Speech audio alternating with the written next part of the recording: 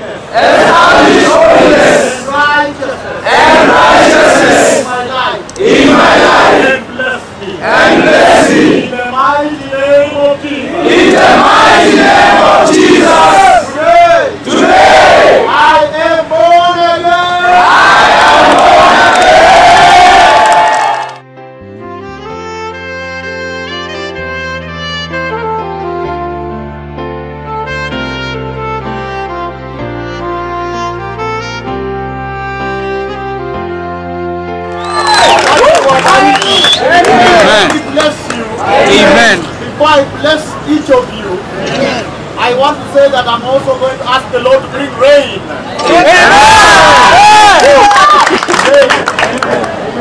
That we may have some food and crops for all people. That we may put a smile on the faces of the lowly people. Amen. Let me pray now. Amen. Father, in the mighty name of Jesus, I ask you to bring rain in this land. That there may be food crops in this land. That these people may not hunger. They may not starve. I decree these words with my prophetic tongue, my terrible prophetic tongue. Amen. It shall be amen and a man. amen. So precious people, I have blessed you and your country. May the Lord give your blessings. Shalom, shalom. Amen.